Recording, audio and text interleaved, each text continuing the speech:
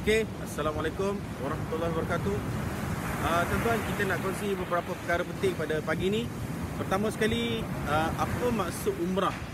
Umrah kalau kita lihat dari segi bahasanya adalah bermaksud ziarah ataupun mengunjungi. Maka orang yang pergi umrah bermaksud dia menziarahi dan mengunjungi Baitullah ataupun Kaabah itu sendiri. Dan kita tahu bahawa Kaabah adalah uh, bekas ataupun tapak asal daripada rumah Nabi Ibrahim alaihissalam. Jadi umrah bermaksud orang yang pergi umrah dia pergi berziarah dan pergi mengunjungi Baitullah. Itu yang pertama. Yang kedua, hukum melakukan umrah ya. Hukum melakukan umrah adalah wajib sekali bagi seumur hidup bagi seorang yang mampu. Dan yang ketiga, ada orang bertanya, dia kata, "Ustaz, antara umrah dengan haji mana nak pergi dulu? Pergi umrah dulu ataupun pergi haji dulu?" Jadi jawapannya kita lihat kepada panggilan kita. Pertama umrah boleh dilakukan sepanjang tahun. Yang kedua haji juga boleh dilakukan pada musim haji tetapi ada satu syarat tambahan yang dipanggil sebagai kuota. Jadi kalau kita dah daftar haji tetapi tempoh untuk kita pergi haji itu masih panjang maka sebaiknya dan kalau kita ada peruntukan kita pergi umrah dahulu.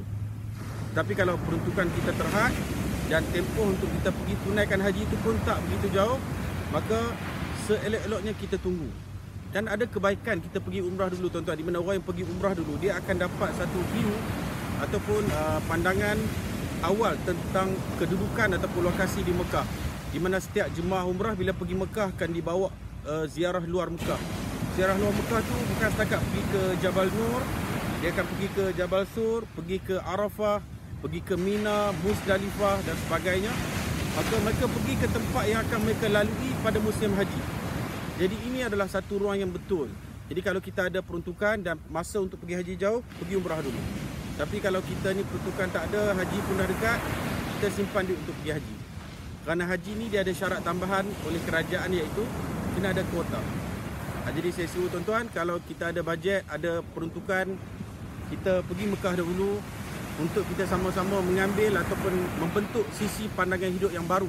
Apabila kita lihat rumah Allah, kita akan Uh, mempertautkan hati uh, dengan Baitullahil Haram sebagaimana Allah Subhanahu wa taala sebut wa id al-baita mathabatan lin-nasi wa amna wattakhidhu min maqami Ibrahim musalla dan kami jadikan rumah Allah itu sebagai tempat yang mempertautkan hati manusia serta memberikan keamanan dan jadikan makam Ibrahim itu sebagai tempat solat.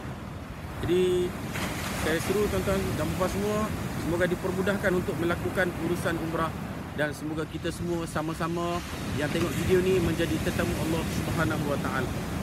Okey, assalamualaikum.